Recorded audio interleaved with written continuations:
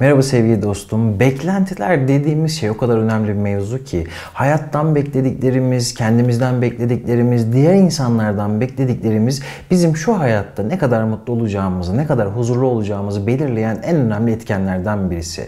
Bruce Lee'yi biliyor musun bilmiyorum ama eskilerin o karate filmlerinin efsanevi ismi. Bruce Lee'nin çok güzel bir sözü var. Diyor ki ben sizin beklentilerinize göre yaşamak için bu dünyada değilim, siz de benimkilere. Şimdi öyle bir şey ki etrafımızdaki insanlardan beklentilerimiz bizim içinde bulunduğumuz ruh halini temelden etkiliyor. Çünkü eğer o beklentiler karşılanmıyorsa her daim içinde bir hayal kırıklığı hissediyorsun. Peki hangi beklentiler bizi özellikle hayal kırıklığına uğratıyor? Sana bu videoda bunlardan bahsedeceğim ve neden diğer insanlardan böyle beklentiler içine girmememizi açıklayacağım.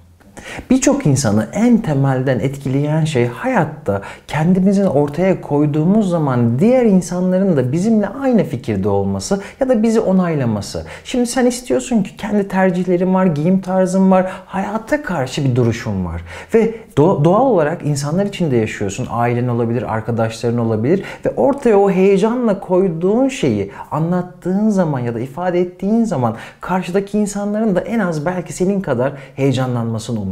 Ama bir bakıyorsun ki heyecanlanmak bir tarafa, karşı taraf seni eleştirmeye başlıyor ve sen o anda içinde bir hayal kırıklığı yaşıyorsun. Neden benimle aynı fikirde değil? Neden beni desteklemiyor? İşte burada dikkat etmen gereken bir şey var. Diğer insanlar seninle aynı fikirde olmak zorunda değil ki. Neden bunu onlardan bekliyorsun? Sen sensin, diğerleri de diğerleri. Hepimizin yolu ayrı, hepimiz farklı tecrübelerden geçmişiz. Onların seni eleştiriyor olmaları kendileriyle alakalı olabilir. Ama sen her daim diğer insanların seninle aynı fikirde olmasını beklersen çok üzülürsün, çok hayal kırıklığına uğrarsın. Bazı insanlar diğer insanların kendisini sevmesini ve saygı göstermesini çok fazla umar, çok fazla bekler. Ve devamlı gözü onlar üzerindedir. Beni sevsinler, bana saygı göstersinler. E böyle olunca ne oluyor? E sen saygıya muhtaç olduğun zaman muhtaç oluyorsun ve muhtaç olan insanlara pek saygı da duyulmuyor. Burada temel bir ayrıntı var. Sen kendini seviyor musun? Sen kendine saygı duyuyor musun? Çünkü ben gözlemliyorum ve şuna dikkat ediyorum. Kendisine saygı duyan, kendisine inanan insanlara diğer insanlar da saygı duyuyor. Ama sen saygı peşinde koşuyorsan bana saygı duyacaksın. Ya bir şekilde ezik bir durumda oluyorsun muhtaç olduğun için ya da o kadar kendi komplekslerinle e, yüzleşmekten korkuyorsun ve o kadar muhtaçsın ki saygıya tam tersi bir şekilde çok gururlu, çok kibirli ve kendini beğenmiş bir hale dönüyorsun. Ama ne oluyor? Hiç o şekilde dışarıdan kendini beğenmiş gibi görünsen de içeride bir yerde üzülmeye devam ediyorsun. Diğer insanlar senin hakkında biraz önce söylediğim gibi farklı farklı şeyler düşünebilirler. Burada sen ilk başta kendine saygı duymayı öğreneceksin. Yoksa diğer insanlardan beklersen çok beklersin. İnsanları en çok hayal kırıklığına uğratan şeylerden bir tanesi de sen söylemeden onların senin ne düşündüğünü anlamalarını beklemendir. Çünkü oturursun bir mekanda birisi senin kalbini kırmıştır, birisi hoşuna gitmeyen bir şey yapmıştır. Ya bir şekilde üzülmüşsündür, bir şekilde e, canını sıkan bir şey olmuştur karşı tarafla ilgili ve sen somurtur durursun ve gözün karşı tarafın üzerinde. Tek beklediğin şey anlasın da bir şekilde bana e, üzüntüsünü belirsin, özür dilesin gibi. Sanki beyninle telepatik sinyaller gönderiyorsun. Yüzünü eğip hadi anla beni diye. Ama sen söylemezsen insanlar bunu anlamaz ki. En fazla der ki Beyhan durduk yere somurtup duruyor. O yüzden birilerinin seni anlamasını bekleme. Sen kendini anlat ki böyle ortadaki iletişim kaliteli bir hale gelsin ve senin içinde kalıp seni üzecek bir duruma da dönüşmesin bu e, durum, bu ortam etrafımızdaki insanların, sevdiğimiz insanların, birlikte vakit geçirdiğimiz insanların değişmesini, olumsuz özelliklerinden kurtulmasını istemek doğal bir davranış bence, doğal bir istek. Birçok insan böyle bir beklenti içine giriyor. Bu istemek doğal ama karşı tarafın değişip değişmemesi ya da bu konuda vereceği, ortaya koyduğu tepki de çok doğal. Belki onun da aslında değiştirmek istediği bir şeyi sen de motive edince güzel bir sonuç ortaya çıkar ve karşı taraf hakikaten kendini değiştirir. Küçük bir ihtimal böyle.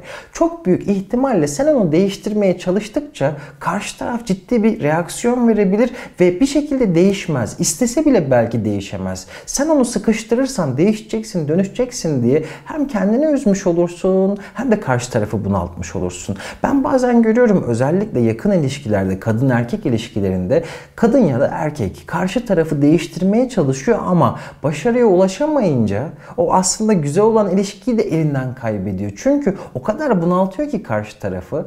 Bu sebeple karşı tarafı değiştirmeye çalışmadan önce bir uyarabilirsin. Kendini ifade etmende hiçbir sıkıntı yok. Beklentilerini söylemekte hiçbir sıkıntı yok. Ama değişmiyorsa da üzülme, kendini yıpratma. İnsanların doğası böyle. Sen istedin diye kimse değişecek değil.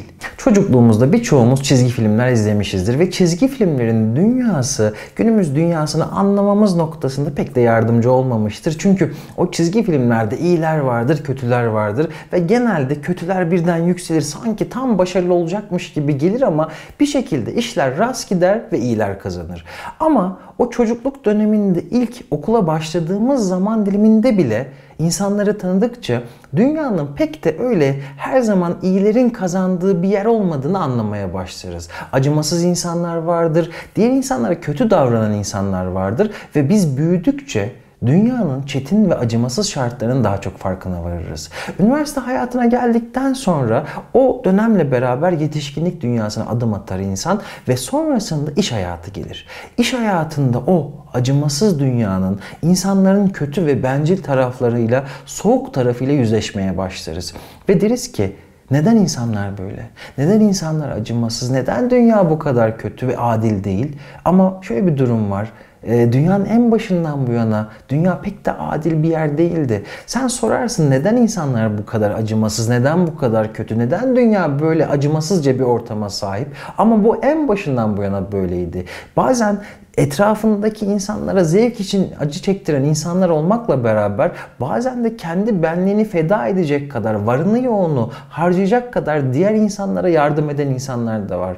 Dünyada çok kötü şeyler de oluyor, güzel şeyler de oluyor. Dünya iyi ya da kötü değil bana göre. Dünya sadece olduğu gibi. Ama sen Orada diğer insanlara ve dünyanın ortamına baktığın zaman ümitsizliğe kapılman çok doğal. Çünkü birçok insan hırsının ve bencilliğinin peşinde koşuyor. Sen bakışlarını nereye çevireceksin?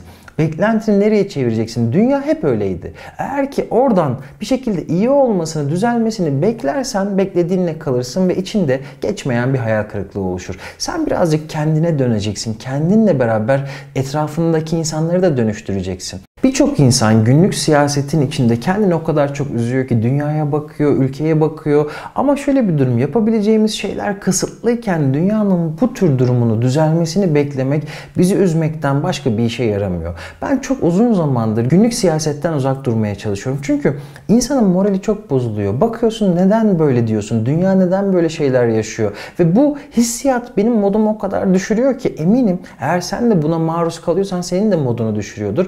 Ben ne düşündüm? Dedim ki ben bunu okumazsam bir şey kaybeder miyim? Ben haberlerden biraz uzak durursam bir şey kaybeder miyim? Zannetmiyorum. Benim kendi içimde kendi bir dünyam var ve kendi dünyam içinde kendi işimi güzel bir şekilde yaptığım zaman o küçük dünyamı oluşturuyorum ve büyük dünyanın olumsuz etkisinden olabildiğince kurtulmaya başlıyorsun böyle olunca. Ne oluyor? Kendi küçük dünyanda kendi aileni yetiştiriyorsun. Kendi çocuklarına faydan oluyor. Beraber çalıştığın insanlara faydan oluyor. Öğrencilerin varsa onlara faydan oluyor. Öbür türlüsü dünyanın değişmesini boşa bekleyip kendini üzmek olacaktır. Sen dünyanın değişmesini beklemek yerine kendi küçük dünyanı oluştur. Orayı dönüştür ve diğer insanları bir şekilde etkilersen zaten böyle ola ola o büyük dünyada değişiyor. Ama o büyük dünyaya bakınca sadece ama sadece üzüleceksin. Beni dinlediğin için teşekkür ediyorum güzel insan. Kendine çok iyi davran. Görüşmek üzere.